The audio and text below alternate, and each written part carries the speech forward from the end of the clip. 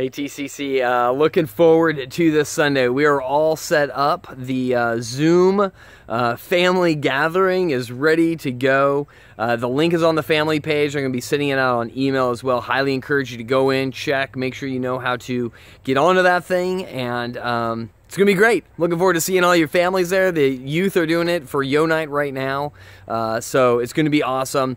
Please reach out to us. Let us know if you need anything. Um, I'm gonna be posting something here shortly on Facebook with regards to just things that we think people need. And man, if you've got extra time, free time, uh, man, we we want to employ the church and uh, see what we can do to help each other out. Uh, so if we don't reach out to you first, please reach out to us and uh, let's show the love of Jesus Christ. And this is just going to be an awesome time, and I hope you are all doing well and you're staying healthy. God bless.